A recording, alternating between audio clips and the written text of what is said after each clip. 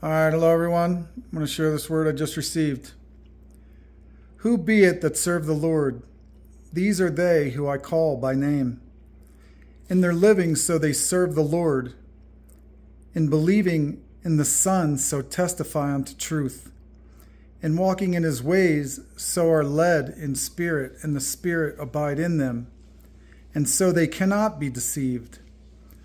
Always seeking the Lord in all things, and in fervent prayer do they seek the will of their Father. For these it be not possible to deceive, and so it is written, For they do not rely on the wisdom of man, which is foolishness to the Lord, but in seeking and in knowing, these things of the Father are made known unto the friends of God. All right, everyone. God bless in the name of Jesus Christ.